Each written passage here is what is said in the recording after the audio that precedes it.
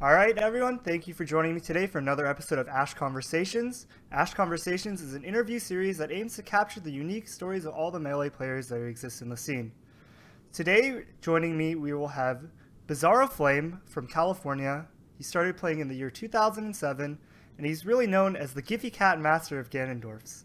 He's had a lot of really impressive showings, you know, taking Armada to Game 3, being ranked in the Melee It On Me Top 100 at rank 98, and also famous for up tilting an orange live on stream and up tilting Eichelman in front of him before destroying the Salty Suite. Thank you for joining me today, Jason. Hey Ashkon, thanks so much for having me on your channel. What's going on? What's going Not on? much. You know, uh, how you been lately? Yeah, it's been a little while since we've kind of seen you in the spotlight.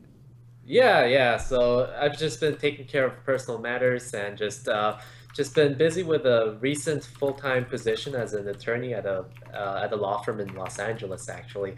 And um, and if you guys have been to my have if you guys tuned into my stream in the past, my room looks different because I moved into a new place uh, earlier this much earlier this month actually. So yeah, that's ba- that's basically my my recent update in life. all right. And uh, to start this all off, let's kind of go back and talk about the younger Jason Yoon.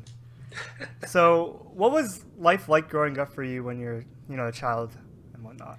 You know, it's kind of interesting. I grew up, so um, so for I guess for half my childhood, I grew up in Koreatown, which which is located in Los Angeles. It's in the west. It's west of downtown Los Angeles, about I would say about five mile, five to seven miles west, and and um, and I would say that I uh, that my experience with melee started when I when I went to middle school, and decide and uh, and when I went to middle school, like my life changed a lot because I moved from a predominantly Korean neighborhood to a predominantly Hispanic neighborhood with a good mix of Mexican, Salvadorians, and Guatemalans actually. And it's um, it was actually a new experience for me.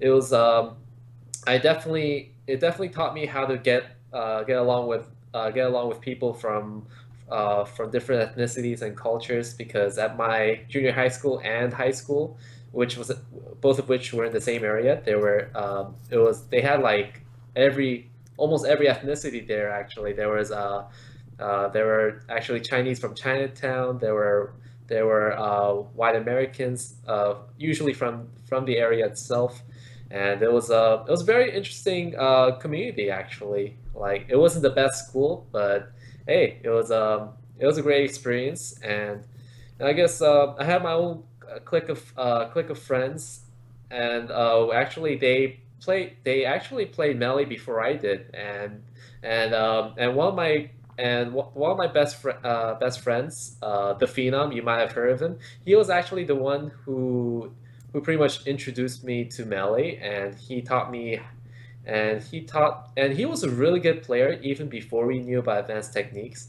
It, it was amazing. It was um, he was he was a very smart player, and and uh, while we we're while we were like learning about the advanced techniques and everything, he for some reason switched from like a switch from I believe Marth to Game Watch for some reason, and and we were all I guess uh, me and my clique of fr- clique of friends we were just trying out different characters and see what suited us.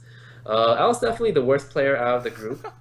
Uh, yeah, it's kind of funny. You you wouldn't expect it, but I was the worst player in the group. I I played Ness. I played Fox. I tried out I tried out Roy. I tried out so many different characters. Uh, like before and during the advanced text, uh, uh, before and during the during the epiphany of uh, of competitive Smash, and eventually I picked up uh, Luigi, and actually we had a high school tournament, and I and even though it feels it, it feels poorly poorly run with a with a uh, semifinals of uh, semifinals of a of a free for all of three people, uh, because because we were running out of time. Like I uh, I ended up getting second actually with Luigi, and I was really surprised at myself because I just um, I just um, usually I was the worst player out, out of the group, but then I think I still was at that point. It's just that I got lucky, lucky in a way, And the thing is that for the three player free for all, I we thought that we were just eliminating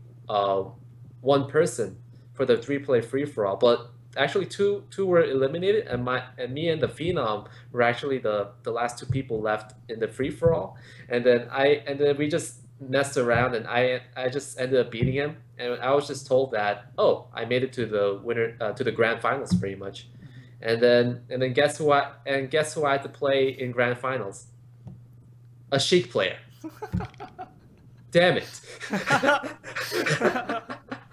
so uh, it was actually a close uh, close uh, close match um, and unfortunately I lost but you know um, Sheik was uh, what's called Sheik was uh, that match against Sheik was definitely not my last match mm-hmm. against a Sheik player.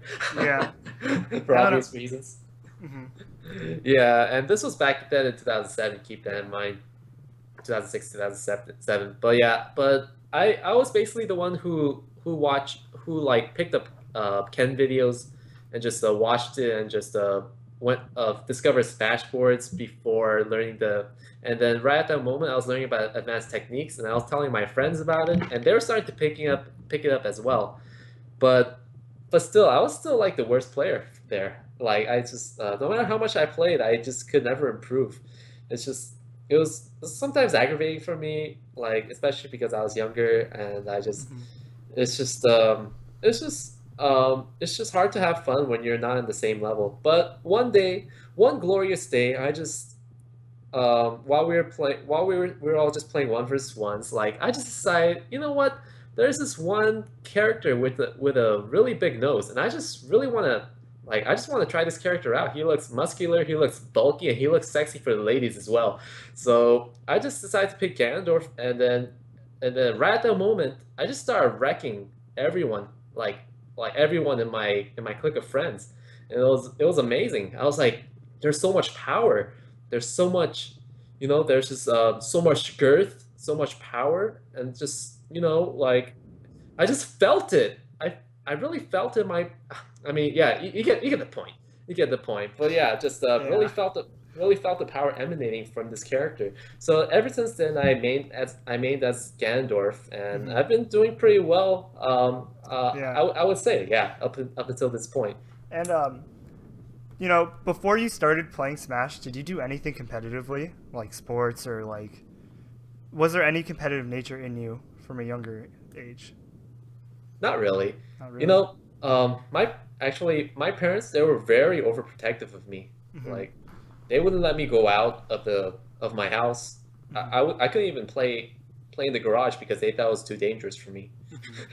yeah, so I was a, uh, I was um I was I was basically uh pretty much um under uh, like under the control of overprotective parents. Mm-hmm. It's it's it's not it's not their fault per se because I guess some bad events happened in the in the past. So but then uh, because of that, I wasn't able to explore much. But but because of melee, like I I was able to interact with people a lot. I was able to go to different tournaments, and you know, like I think I I built up so much so much real life skills and just uh, and a competitive nature that I'm applying it to my uh, to my job as an attorney, and I'm just I'm just like hungry to learn more every day, and I treat and I treat my job as pretty much like how I treat melee, like like I treat it really seriously with uh, with with always the intention of getting better, but at the same time having fun at the same time, you know. And it's just it's just a great. I mean, it's just a great game. Except you uh, don't get to up tilt your the defendants in court, the people you're going against. that's true. That's true. Yeah, I'm thinking about maybe introducing Exhibit A.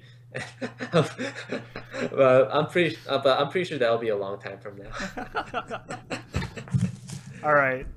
So it seems like you know melee is like a way for you to explore and just learn about all the interactions with life, which is really cool. And um, so when you were playing in high school, though, when was it that you started going to tournaments outside of your school? Oh, you know?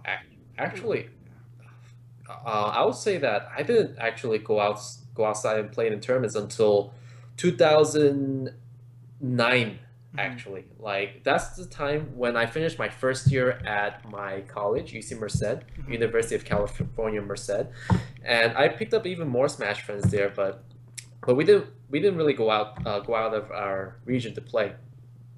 But you know, the most interesting thing is that for my very first tournament outside of of my of locals, like like uh, I like I think my very first legit tournament was was Connor's tournament, which took place in this garage in Orange County, California. so uh, so for my first tournament, like during my summer vacation between my my freshman year and my sophomore year, I um, yeah I drove all the way down to um, uh, down there with my friend and and everyone you know everyone uh, for some reason people back then I think they were just a little bit more cliquish so so they didn't want to talk to people openly and and it's just the way it is for a smaller community you know hmm especially, especially for my first tournament Yeah. and then and then I remember this one person I think his name was Freedom uh, old school SoCal players might know him, but um, I don't want to rub any. I don't want to toss any dirt on this dirt on him. But then, but then it is what it is. And he actually, he, he was actually talking talking to me at first, but and then I told him, and then he asked me, hey, what uh, what's your main by the way? And I said, oh, I main as Ganondorf. And then he just kind of he kind of turned his back uh, back against me, and he just walked away. I'm like, whatever. So it was kind of awkward, but but yeah. I- Um, and then uh, and then after that, like I just um, I went into winners bracket. I beat like a lot of people actually, like for my first tournament during Were the the- winners bracket. Were there any notable players along the way that are kind of still playing now? Yeah, there's there was Connor, there was um there was Hugs, there was Mango, there was uh um I think there was Kira there, there was Lucky there. There were all the top players were actually all the top players in SoCal were actually playing like at small tournaments because that's all they had back then, you know? That's all we had. Yeah. Yes. So, but even with players, and Zhu was there also. I played Zhu in winners in winners bracket, pretty Uh-huh. far into the winners bracket as well. You know hmm and um, actually he actually played Falcon because he thought that he thought that it would be easy easy money just playing just playing against against my Ganondorf. But then I but then I actually beat his Falcon in the second match, so he had to switch to Falco, and then everyone was hyped because because he's is is Zhu Zhu was one of the Zhu was arguably top two or top three in SoCal back then Mhm. back in the days. Like he was really good, and he beat players. He played. He beat top players left and right, including including Kage like back then.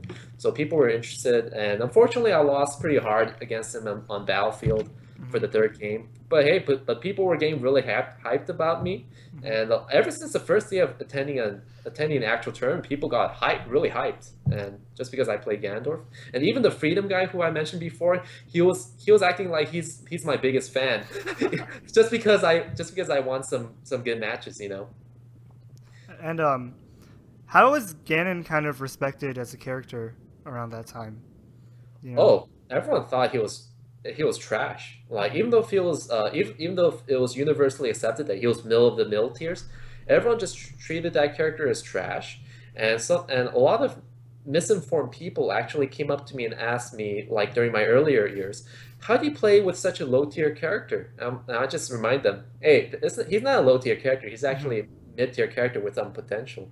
So um, so that's basically the bias that that almost everyone in the community had against Ganondorf back then, uh, with the uh, with the slight exception of those who were actually who were Kage fans back then, because Kage Kage was re- uh, was really popular back then when I first started competitive Smash, actually, as as, as a Ganondorf player. Other than that, there were players like like Linguini, but I think I think Linguini was slowing down um, around that time. And um, yeah, even Linguini though is still doing pretty well. Like at CEO this last weekend, he took the set off McCain, which is pretty crazy. But That's um, but Ganon being considered like such a low tier back then, how did you find kind of inspiration to learn the character? Like, were there resources available and whatnot? And how did you go like to push the character to the next level? Well, Smash Bros really helped a lot with with great with like uh like amazing amazing Ganondorf mains such as such as Ace. You had players like Ace. Kage helped here and there a little bit, um, but then he definitely had some good uh good advice. Um, who else? Uh, there were there was Renth, Linguini, um, uh, Spider Sense was uh, was was the was up and coming, and you had like all these Ganondorf mates who were really trying who were really trying hard to help each other. Although I think that I think that we're we're general uh, we were generally lazy back then, and even nowadays we're still sort of lazy. But then and I guess you can say that about most about most Smash players, uh, compared uh, compared to like uh, compared to hyper uh, really competitive uh, fighting games. I would say, like that's just my personal opinion.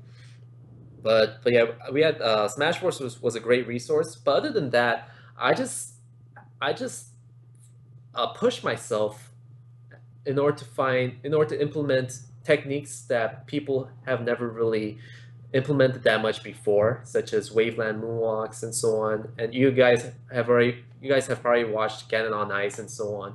And that was pretty, that was pretty much what I, what I kept on pushing out.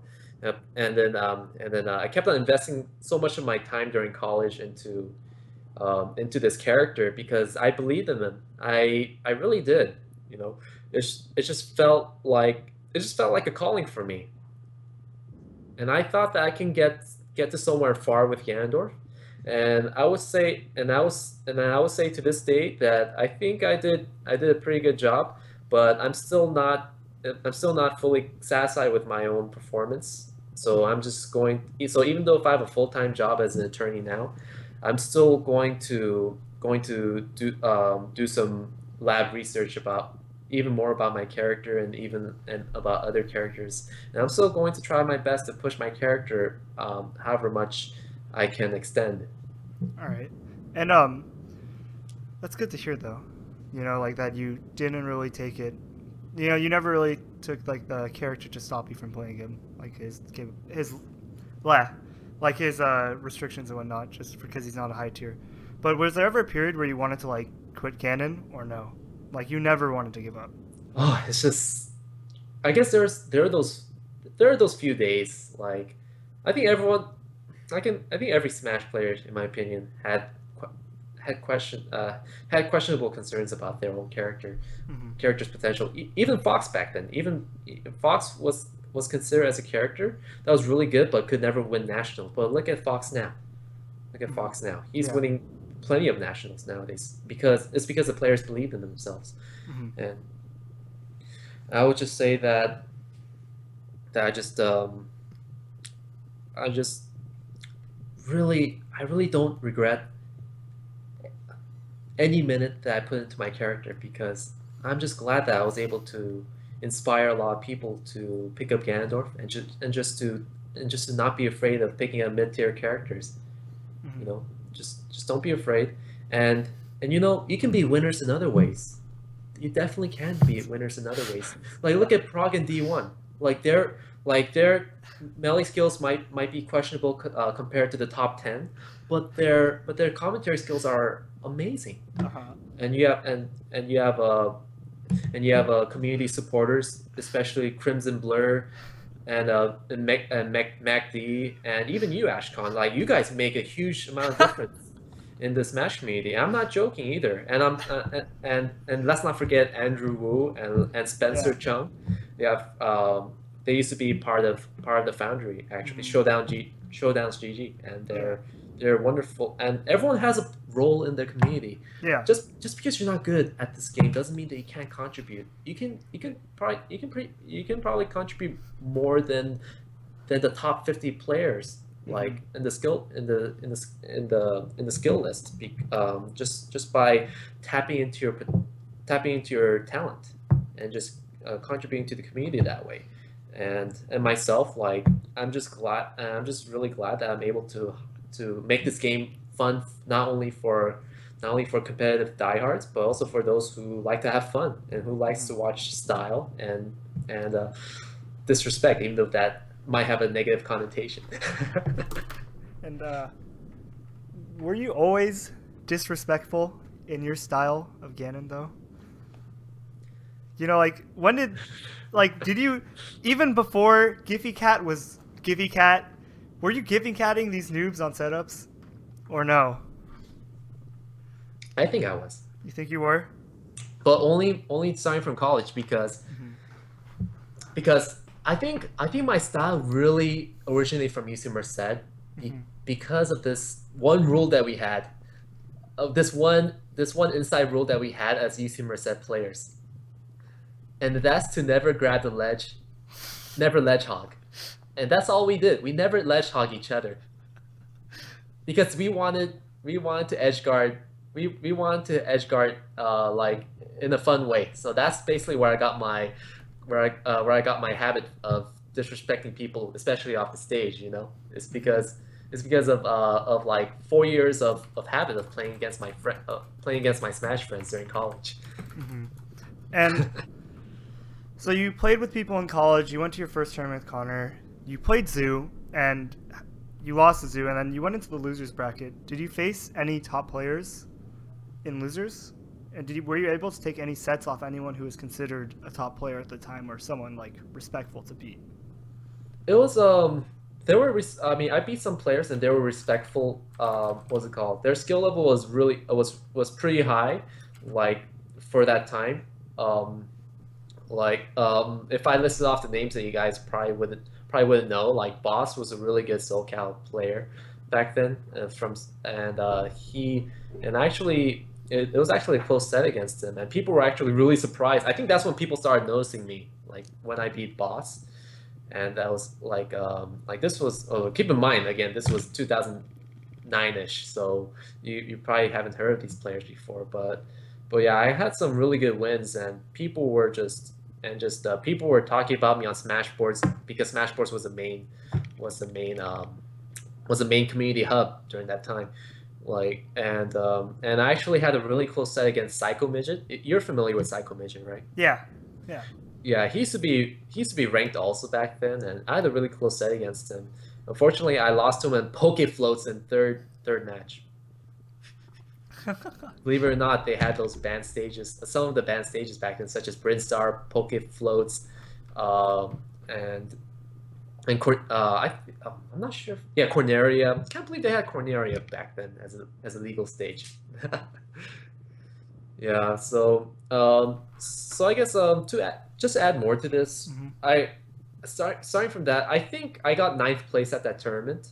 Yeah. And and that's really good out of like fifty seven people like who attended like for my first tournament, and it's just um and then after that I, I started attending a lot more tournaments. Um, the tournament after that again in Connor's garage I got seventh place, Mhm. and then I and then after that I, I kept on fluctuating up and down. hmm And um, you know, how how long did it take before you kind of started traveling out of region? You know, were you Oh. just like uh, going to locals as much as you could? Yeah, exactly. I was going to locals as much as I could until my, really until my first year at, at law school, Mhm. and I went to law. I went to UC Hastings School of Law immediately after I graduated from college because I cho- I chose that route in order to become a lawyer as soon as possible. But uh, but yeah, I I definitely I dra- definitely traveled the most, or I started traveling a lot out, out of my region starting from 2000 and um, 2013 there we go Yeah. so, so that's only oh man that's only three years ago that's when i started traveling a lot um, i guess a no- noticeable tournament that i did go to before right before law school was genesis 2 um, which was in um, it was in 2008 Yeah. and for that one i had a really proud achievement of landing 25th place for for for a national for a I guess it was a worldwide. Yeah, as a super national, I mean, you had like everyone at the time there. yeah, It's like exactly. a very respectable place to get 25th at. yeah. So I just Did I was you just really happy. Did you expect that or? you know? Um, actually, I did not expect anything, but I was definitely surprised at myself after the whole thing was over. I was like, wow, I actually made it really far, and that's actually the first time I play Armada in winners bracket. I see. yeah. How did that go? Oh, it went. Oh, he he wrecked me. He he, he first he three stocked me in, in Dreamland. I don't know why I why I uh, why we ended up there. I should have I should have stricken Dreamland, and and then I got two stocked in Battlefield, and and it was just a it was just really really hard to play against someone someone that caliber. And no one actually knew about Armada back then. Know, Yeah. there were some rumors about him that he's really good, but then no one, but then it was unfounded rumors pretty much. Yeah. I mean, it, he'd barely been seen really in the U.S. outside of exactly. just one. But um, was that kind of the point where you had a realization like maybe I could be one of the best players in the game at Genesis? Or is there a point before that where you're like, you know, you had just had this amazing tournament run and you're like, wow, I really think that I can take my character, Ganon, and I can potentially be one of the top players. I think that moment was actually the time. It, it was it was that it was that one tournament, Nice Shot Hugo. I think it was a 2011 tournament, right? It was sh- shortly before Genesis um, Genesis 2 Yeah, I think it was that one time when there was a it was a big it was a big regional and uh, and all the and a lot of top players were attending it, especially in California. And I actually was it stuck in a pool. Like it was it was like a almost a death pool. It had Mango, it had Connor, it had like a bunch of other good players. And only the top only the top two made made it out for that one if I remember correctly. You know, or top was top three? But yeah, I think during that time I I went one two against Connor. Connor was considered really technical and good back then. And then, uh, but then, uh, but then there's this. It was funny because I, uh, Mango he was, uh, apparently, uh, so, according to rumors, he was act he actually had like a Seven Up Slurpee, like in his hand, and and apparently it had uh, it had some alcohol in it.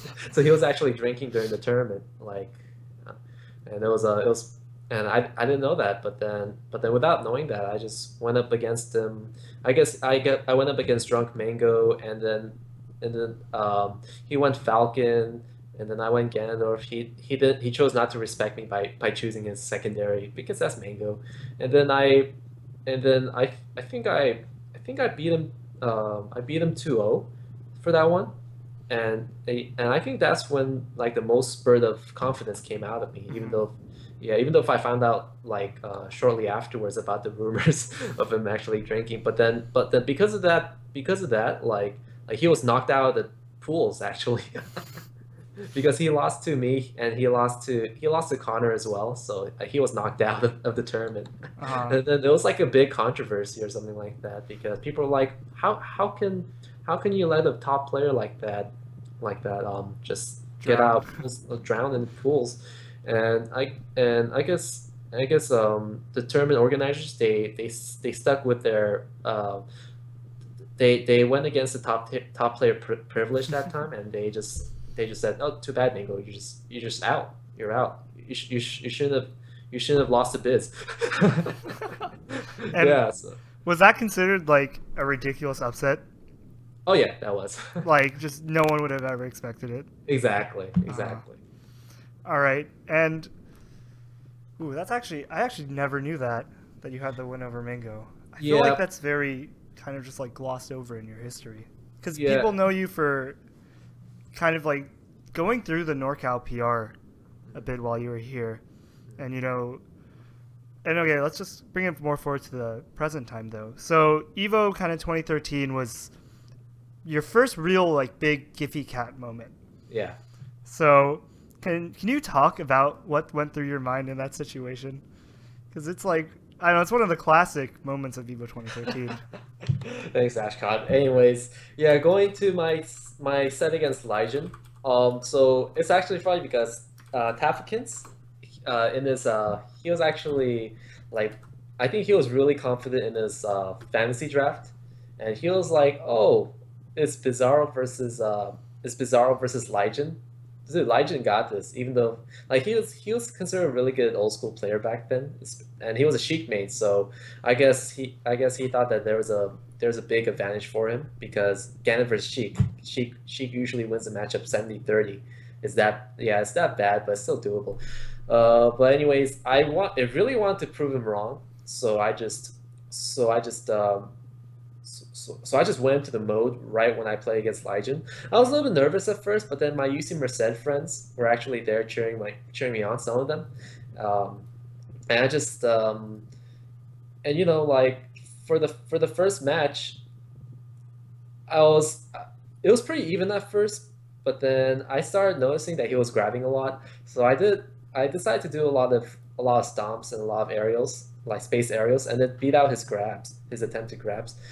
And then and then at that point, I was I was already um, uh, at this actually at this last stock. He was I was actually pretty uh, pretty far ahead. So I just was like, how do I destroy his spirit as much as possible? uh, and so that I can guarantee myself a win win in this set, and so that and also that that I have a bigger chance of winning uh, 2-0 by winning game two after this. So I decided, okay, let's just go all all in for this. Like I've done this to my UC Merced friends before as a, as a as a joke, as like a raffle raffle stomp, literally, and then I just and then I just like all of a sudden I just get that first dare in, and then I get and then I get the second dare in, right? And I was like, oh, if I get the third dair in, then it's gonna be then it'll be amazing for the spectators. So then I tech and then I read the tech chase uh, tech roll to the right, and I got the third dair in, and then got the and then and then finally got my fourth dair in. I just had to because it just looked because I, in my mind I thought it looked so hype, and I could already hear the crowd screaming behind me so loudly. And then and then when after I came down with my fourth dare while I was in the air, I did a last a last minute a last set of frame possible in, in order to do an up air, which popped him to the right. And then and then as he was trying to uh, get back from uh, get back from the ledge, he I just fared him off the stage. And then and then right at the moment after I after I grabbed the ledge, securing myself against him, and he was and he was too far away from the ledge anyways. I was thinking, you know what? Let's make this let's make this into the most disrespectful moment of all time. Let's just do it. I'm just going to do it for my UC Merced friends because because we because I just want to show everyone how much fun how much fun UC Merced has, especially uh, especially when we're when we're styling on each other so much. So then I just dropped down, and then and time just felt like it stopped right at the moment when my when my when Ganondorf's body was in tangent with Sheik's body after after her up B popped and it just felt I just felt I just felt like I was actually touching Sheik at that moment. And then boom, I just I just slowly pressed down press down my control stick and then press B, just those two button combinations. And then magic. Magic happened. Magic happened for the 24,000 people who were viewing that moment. and uh, that's basically how that's basically what was running through my mind right there. The disrespect. Could you hear Prog and D1 just screaming after that?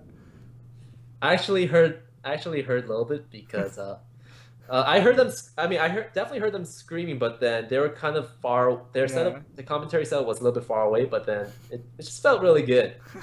it felt really damn good. Was that kind of inspiration to become a stream pleaser? Oh, definitely. Was that like the first time you had ever like on stream Gfycatted? Or you, yes, it was. Yes, I would say so. And then it's like you that thrill. It was like an yes. adrenaline rush, and you just wanted to keep doing it. Exactly, and, and you know how stream wasn't that big back then. Yeah. Including uh, even for national tournaments, there wasn't much stream. Even Genesis Two didn't have stream, if I remember correctly. Yeah. Not really. Yeah. But Evo they automatically had stream because it's a it's a worldwide fighting game event convention like tournament you know mm-hmm. and of course they had stream like and it's and it's the first i think it's the first time that melee really had had like a worldwide um, stream where everyone had access to it and even the some of the fighting game players had access to the stream and and when and i was just so glad just to see fighting game players actually talking about how hype my uh, my disrespect was. Like even outside the Smash community, I was hearing great things about about about about how hype Melee could be because of because of what I did. I was uh, I think I just felt so accomplished at that time. I felt really accomplished, and you know I one of the thing one one of the um, I guess how would you put it? One of my biggest pet peeves while playing Melee was uh was the bad section of the fighting game players or, or the fighting game community, like just talking down on melee, just saying how melee isn't a fighting game whatsoever. Like why the heck is why the heck is uh, is melee gaining popularity and so on, and you know the the the, uh, the typical melee isn't a fighting game, um, arg- like argument, and I get I think I got like I think I was um, out of the many issues that are out there, I think that one really touched, uh, really, really got on my nerves the most. You know, hmm I think I think that's um, I think that's part of the reason also why, um, uh, what what also led to my uh, to my uh, to my sponsorship actually. But we'll talk about that later. Yeah, yeah, we'll talk about it. But um, so going from this moment on though, it's like you had this Gfycat moment, and then the rise of melee is really happening at this point. Oh yeah. You know, the scene just starts blowing up with the documentary coming out. And at this time, were you living in Northern California? Or no? Because you kind of like, you've always jumped around California. It's kind of hard to identify you as a region because one month you're in SoCal and you get ranked, and then the next month you're in NorCal and then you get ranked, and then you move back to SoCal and then they just rank you because you're like, all right, he's probably going to do really well.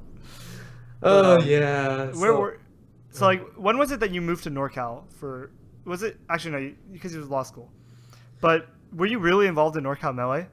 Oh yes. Oh Mhm. yes. I think I was more involved in NorCal Melee than SoCal Melee uh, from that point on from Mhm. from my law school. Um, just um, yeah, I just went to as many t- locals and regionals as possible. I didn't really travel out of out of uh, state. To, uh, I really never. I still never really traveled out of state. Like, I, How are you doing in the locals? I was doing pretty well actually. I would I would get like top, top, top uh seven, top five. You know, um, like like just close enough to uh to get to the to, to get to the money, but but not really. Mhm, But you know, I still have a I still have a great time doing it. mhm. The NorCal Dragons kind of uh, keeping their their prize pools to themselves. Yeah, pretty much. All right, and then as time kind of went forward, eventually you just blew up in popularity. Like every, it felt like every morning you'd wake up and check Reddit, and there'd be like a different Bizzarro Flame gift at like the front page. oh yeah. And um, leading up to that time, how was it for you? Because with the rise of Melee as a competitive esport, we saw kind of like this new community come out, which is all these new players, which brought in the esports life. And how was the rise to fame for you? Man, it was. I I wouldn't have traded this this opportunity to become the president of the United States. I really wouldn't have. It was great. Mhm. The fame, the the names, just people people always people always saying good things about you, like not even one bad word about you. It was it was like the most amazing amazing time of my life and I just and I think um, I I had actually um, I wasn't diagnosed with um, with anything really, but I I really think that I really think that I did have some form of uh, uh, some depression back then before even beforehand, and I had like a total lack of self confidence.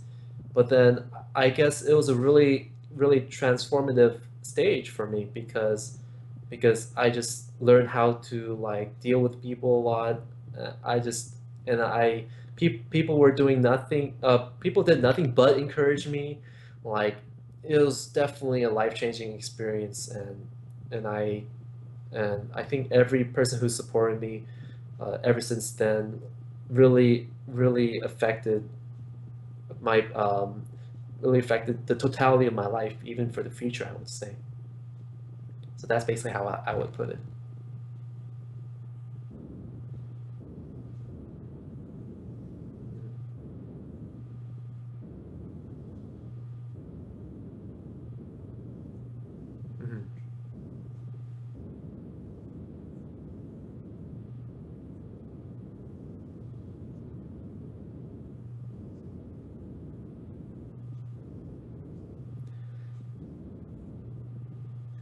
Yeah, it was.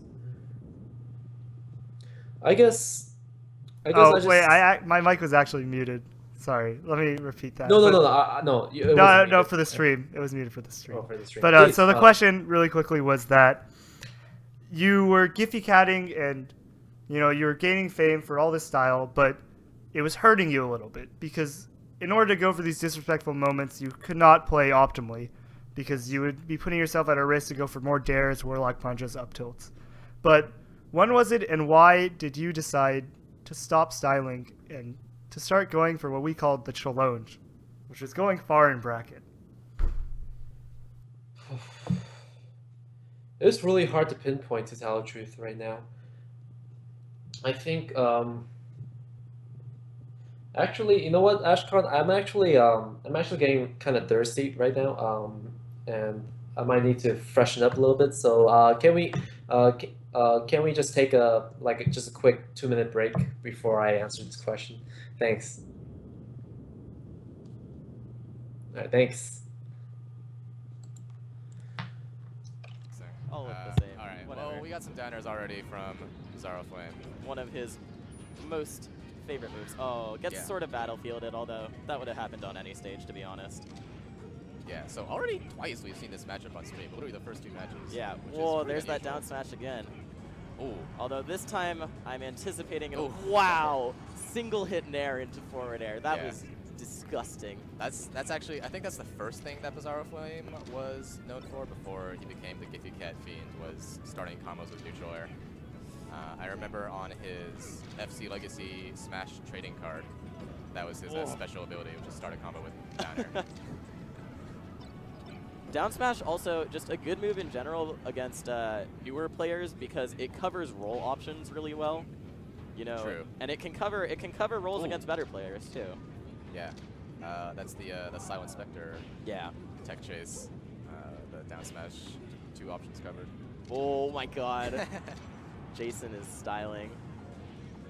Oh. Oh, oh, okay, all right, all right. All right, let's bring back Calvin. Calvin looks like from UW, University of Washington. Yeah. Oh. Oh. Looks like he was a little late on that one. I was right about him being a Pacific Northwest smasher though. That's true. I just I get them all mixed up. sure. it's not my fault. Ooh. Yeah, so Bizzarro Flame definitely moving around a lot more than Fook was. just about just give me 10 10 seconds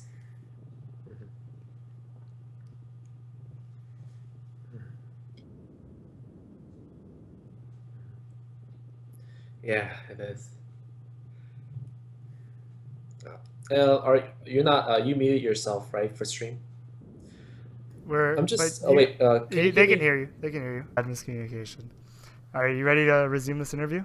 I'm ready. Let's So the question was, when did you want to start making this change? It's it's hard to pinpoint myself. It was it was definitely sometime in 2015, like you said, but you know, just um, you know, I um, I already got the, like I was thinking to myself, I already got the fame, and I, and people already know that I can I, that I can style and disrespect very well. So I want to focus on another part in order to further improve myself. Mhm. So I so I dedicated so I dedicated a period of time of taking this game um, hyper competitively and just uh, just uh, advancing my character even even more and more.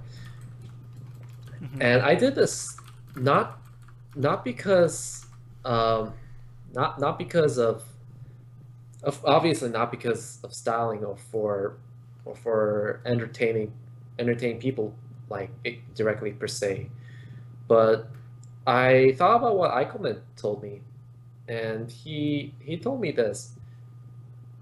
Um, play uh, don't play for yourself don't play for for others. Uh, play for Ganondorf, and I and I didn't take this completely in um, into heart, but you know I just I was thinking that I, I do want to have a part of advancing my character and and of, um, of of of improving my character even further. So I decided to take that route because I because I know that I know that that no matter what happens, I'll still maintain my popularity, and I I'll still and um, and I and I don't think there was anything really to lose by taking my character to another level. So I really trained hard, really tried to get my get my character um, uh, past everyone's expectation. Um, I guess I guess people people nowadays they will say that I do get good placings for Ganondorf. Like I think whenever I do attend tournaments, like I think I'll be I'll probably be the highest placing one the, uh, either the highest placing Ganondorf or or maybe or maybe or maybe second top placing Ganondorf at the tournament, depending on how the bracket seating sometimes. Um, uh, but then to me, that wasn't thinking about it now to to this day. I'm still not satisfied with my performance, especially because I did, because to this day I still did I still did not uh, break out of I still did not make top 25 um, at a at a national that uh, that recently, and and the thing is that some people some people when I tell uh, when I tell this uh, to them, they say, "Hey, but but Kings of Cali, Kings Kings of Cali, four, you actually got ninth place." But I was but then I'm I'm thinking that that was more of a regional to tell the truth. Uh, it was a super regional, but it was it was not like a it was not like a national, let alone a super national. And you know, I'm just uh, I'm just going to keep on pushing my character, even even while even while I'm an attorney. And I just I just really think that I can make a more more of a difference in this world. Not just the Smash world, but but the world in general, because because to tell the truth, I think I think playing Ganondorf is really is really um, it's really ironic for me because I think it's a good reflection of how of how of how the I'm sorry to go into race and politics right now, but I think that's basically what, what Asian Americans are to uh, nowadays. You know, they're they're mid tier. You know, they can do well in real life, but then they still have they definitely have some disadvantages some um, in the in the professional field, and mm-hmm. that's and that's basically exactly that's basically how how how Ganondorf is, you know. And I just I think the character just fits me very well because of that. mm-hmm. But I'll never give up, whether I'm an attorney or whether I'm whether I'm playing Smash or Melee. I'll never give up because I know that there's endless amount of amount of potential and, and possibilities in this world, and you just have to you just have to grasp the moment and you just have to take advantage of it. Mm-hmm. I see. That's actually really cool to hear. And I mean, like, you really did take it pretty far, I feel. Like, Apex 2015, you were just out of the cusp of making the top 32 bracket. Mm-hmm. And I mean, you even went so far to even taking a game off Armada, and I'm not yelling. Mm-hmm. And, you know, there was, I mean, with all this success, though, you did see a sponsorship come too. Oh, yes. And um, do you want to talk about that a bit? Because it was, it's kind of one of the more controversial sponsorships in the esports scene. Yellow oh, Pages, Bizzarro Flame, Team YP. Yeah. of course. But, um, of course. You know, when you first got into that sponsorship, were you afraid of the backlash that would come because of its controversial backing? I was a little bit, but something told me just to go for it. And I think I had very good justifications for doing so. First of all, I mentioned before that this fighting game community has a stigma uh, against the Smash community, especially especially that one meme. Uh, is I think there's this one stereotype that is perfectly um, uh, that's perfectly represented by this one meme. It's like a it's like this one meme had like a picture of like like different real life everyday uh, events, and and some of them were and then some labels were attached to those pictures, such as Guilty Gear, Street Fighter, um, Street Fighter Third Strike, and then and then for Super Smash Brothers Melee, there was like a picture of babies playing, you know, and I was um, I think that's um, that was one of the most uh, I think I think if if if they did that just to be troll just to be trolls, they did a very good job because I was um, because I didn't I didn't like that um, I really didn't like uh, like that stigma against Smash players, So, and the thing is that Team YP around that time, they did not want to. Uh, they, they only had one one game picked up, and that was CS:GO, and the and everyone was wondering during that time, or a lot of people were wondering during that time, hey, if Team YP picks up a fine game, what would it be? And you know what? I nabbed that opportunity. I nabbed it, and and I was I was very I was very glad when Team when Team YP put up put up uh, uh, put up the news, put the news of me up being a sponsored player, being their sponsored player, um, as being the fir- as being their first sponsored fighting game player.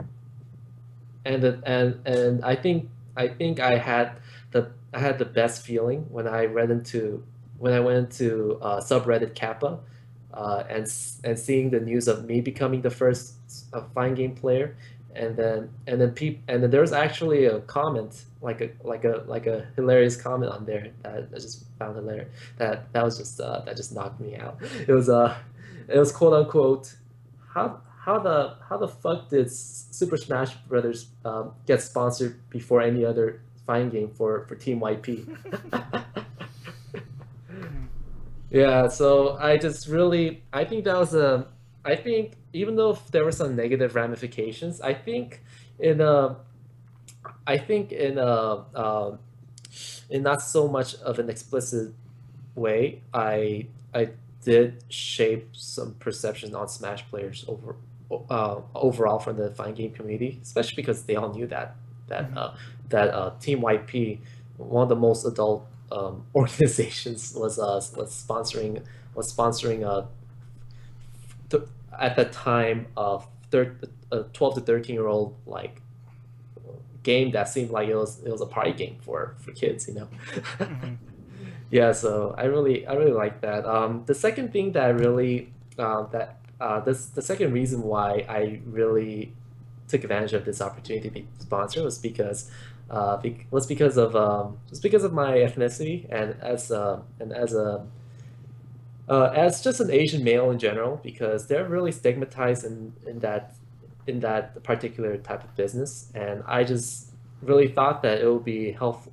It would be helpful, even though if I, even though if I'm I am classified as a, as a video video game nerd, I think it really, I, I just want to make a difference in the world, and I just I just want to, I, I just I just uh, wanted people to be more to associate like um, to associate Asian male with more with more of that type of field because I just I really didn't like the stigma of of Asian males being uh, desexualized um, from from like the media and so on. So so that's why I I really thought that it was a good decision on my part um, to to make the world. I mean to, to change the world in that way.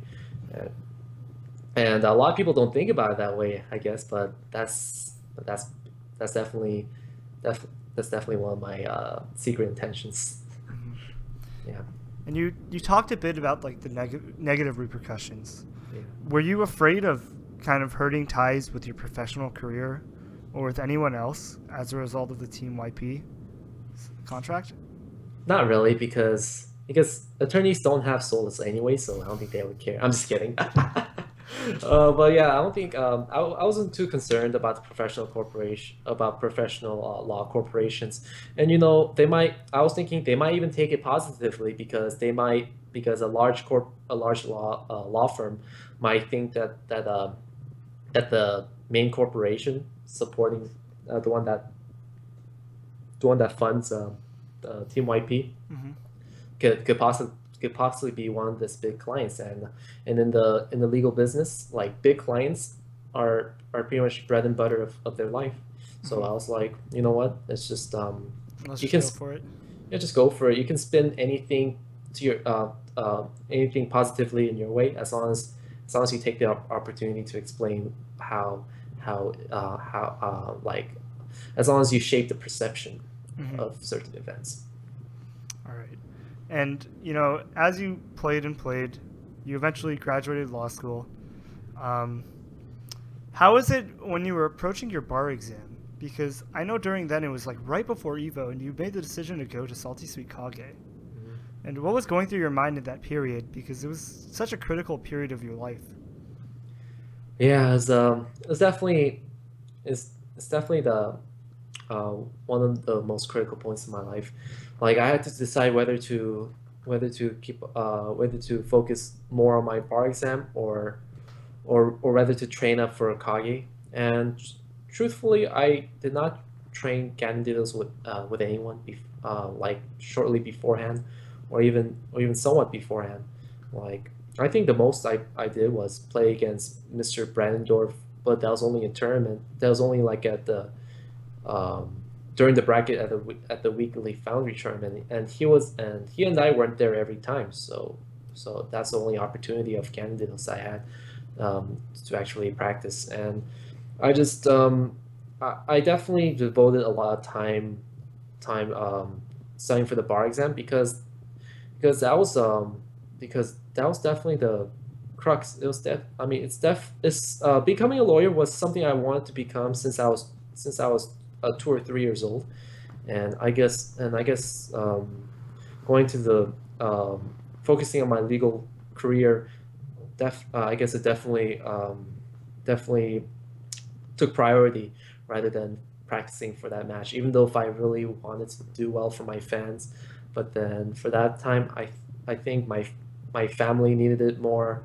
because um, because my father is uh, his health health wise he wasn't doing well, so he he couldn't um, so he, he couldn't practice he couldn't practice much law anymore. So there had to be a breadwinner in my family. So and and I guess uh, and because and because I uh, because I study a lot and, and I pass the bar, I'm able to support them to this day, and and you know you know what it's just um, my my loss against Kage was definitely uh, definitely hit me hard, but but um, but uh, but luckily the bar exam was only was only a month was only like a three or four weeks after after Kage's match, so I was like okay I lost big, but you know what I'm going to take this negative energy and just turn it into a positive energy and just study as much for the for the bar exam as possible. And I did pass the first time, um, and I found that out on December of last year, 2015, and and because of that, I got a I got a good uh, I got a good job. Um, although I did quit my job to, to move with to move in with PPU in uh, in um, um, in early um, early this year, but I got an, but luckily I got another full time job just uh, earlier this month, and I I would definitely say it's worth it. But I just to this day I still have I really I still have nightmares actually about uh, not not because not because I not not because of myself about of my performance, but of but of uh, disappointing my fans to tell the truth. And I just um, and it's just you know like it's especially especially knowing that some of my fans uh, like some of my fans actually like like they actually bet like anywhere from like a small to a um, to, to a large amount of money in my uh, in my favor and just the way that I performed I just I just um it just really hits hard even nowadays and. And I never I never had the courage to um to uh, to apologize to um, to my fans out there for not performing well that day. But but uh, but I guess I guess now I can just uh, I can just apologize for um, for not for not training as much as I as I could have uh, for for that for that match uh, for my for my uh, salty suite match against Kage for disappointing disappointing um, so many people and just um, and I just um, I think it was definitely definitely one of the hardest moments of my life although although I did learn a lot from it.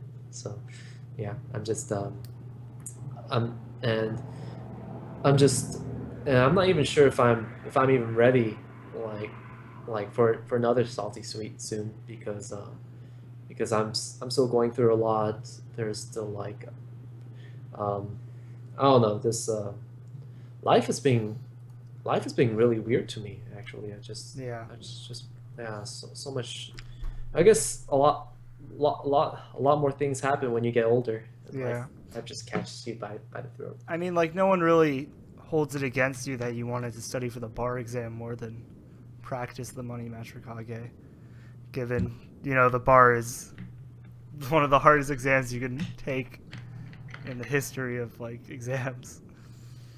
But I mean, moving forward into the future though, like now at least, like it's been a while since we've really seen you. You know, since you moved down, you moved in with PewPewU. And um, what's the future for you looking like now? Because you're working full time, big jo- big time law job. What's what's in the future? Well, you know, I just I just want to well, it's always been my long long time dream to become the best attorney, especially trial uh, litigation trial attorney. But uh, halfway about like two thirds into my life, I found a new found a new joy in my life, and that's Super Smash Brothers Melee, and and probably and even even Smash Four because I'm pick I'm starting to pick that game up also. But I would just uh, I would just have to say that I'm I'm ready to give it my all for both for both my my profession and my hobby and as long and because I'm in my I'm in the peak peak of my adulthood. I am I'm 25 years old, about to turn 26, and the late 20s is basically the best. It's not the most money, uh, most income earning period of your life, but it's definitely the most eventful and the most meaningful point of your life. So therefore, I am going to try my best for both fields, including including my professional legal field and and my Super Smash Brothers Melee uh, uh, professional uh, professional career. So that's that's what I'm going to have to say. I'm still going to practice on stream. I'm still I'm still going I'm still going to stream and practice on there. I'm still going to attend local and regionals and and you know arguably I can attend national tournaments as long as they're only one like one or two day tournaments. But I cannot. I don't think I, I have enough time for three day tournaments. But I'll still try my best for my fans. I'll try my best for everyone and uh, and I think most most importantly, like PPU said, I try my best for myself. Mm-hmm. It's really good to hear. Are we going to be seeing you at Evo this year or no? Probably not. Uh, the thing is, I'm planning to to attend day day two and part of day 3 mm-hmm. I cannot, uh, unfortunately, I cannot attend day one, which means that I cannot. Uh, that means that I won't. Um, uh, I'll I'll probably be DQ'd for um, day one, obviously. So I think I'm just going to go there just to um, just to uh, just to see my fans and just to encourage them and uh, play friendlies against top players and uh, and fans alike. I'll try I try to squeeze in as many games as possible mm-hmm. because I love the community. I I love I love my supporters. I love the I love all the players. Uh, no matter no matter how well or how badly they treat me, we're we're still part of a fa- we're still a community, and and what one member of the community does affects affects everyone else, and and and through through through thick and tough. I love I love this community, and I would I definitely wouldn't have made it this far, including my including as as uh, as as an as an attorney without without your guy without the Smash community without without the game without the fans I and I really I would really like to take this time to thank to thank every each and every one of you for just just just for being awesome. Mm-hmm. That's really good to hear. And um, you know, you've tweeted been tweeting a bit about your life and there's been some exciting news in the personal life of Bizzarro. You're engaged, the child on the way, right? Yeah, but um it's gonna be is that going to be a huge block, or you're just going to keep going and pushing the passions? Well, um, prefer prefer not to talk about that right okay. now. Yeah, okay, that's understandable. I mean, I mean, uh, you can talk about a uh, like anything be, uh, besides that topic. But, okay. Uh, I can talk. I can talk talk about the engagement. Yeah, I okay. mean that, that was fine. Yeah. Yeah, you're getting engaged soon, or you are engaged, but and whatnot yeah, just keep on um, keep on pushing the date back because uh, I guess things just get in the way. So we just, mm-hmm. um, but we're we're definitely uh, we're we're ho- definitely hoping for um, uh, for the wedding date to be to be by the end of this year. Mm-hmm. That's good to hear. Yeah. All right. Um, that's about really it for the topics that I have. Um, is there anything that you wanted to say? Anyone you wanted to thank? Any shout outs? Well, I just uh, I just gotta say this. Remember, you guys are you guys are amazing. Each and every one of you have have a, uh, an amazing amount of untapped untapped potential. Look at me. I was I was an oversheltered kid back then. I I thought I had nothing to live for back uh, back then. But look at how look at how much look at how much I've accomplished. I want to sound narcissistic, but it's just I mean just um, I'm just I'm just going to say look look uh, just uh, just look at how much I've done, and I'm going to do a lot more. But it all comes it all comes from down within. Sure, there's a little bit of, luck associated with it, but hey, if you don't try, then you might as well die. well, uh, well, that, that might that might be a little bit too negative for you guys, but uh, but you know, like, um, but always, uh, I would just say, always try your best. You know, might might as well try because you you you lose nothing. You lose nothing by trying. You know, you lose nothing. Uh, you lose nothing from being positive, and you just and everyone everyone is just special in their own ways. I just I I love like I love everyone, uh, each each and every person individually. Just um, like no matter uh, no matter what they have done, because um, because we're all we're all humans, and I don't think there's anything to gain by by having any uh, by holding a grudge against someone. You know, just uh, live life live life to the fullest, and and and happy styling and disrespecting. yeah. All right. Um, you know, thank you for joining me today. Um, you can follow Jason Bizzarro Yoon at Twitch at Bizzarro underscore Flame, also his Twitter. And you can check out his YouTube channel for all clips of his stream highlights of just Bizzarro Flame.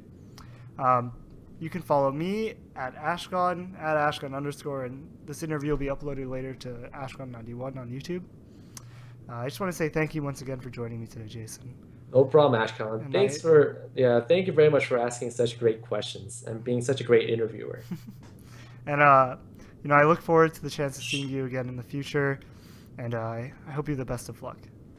Thanks so much, Ashkon. All right, thanks. Definitely a great friend, man.